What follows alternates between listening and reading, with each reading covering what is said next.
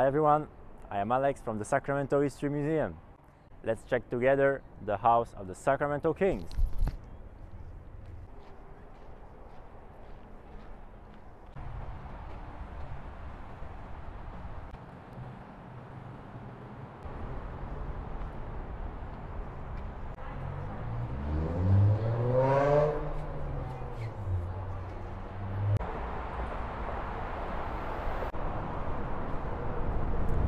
Golden One Center, this way.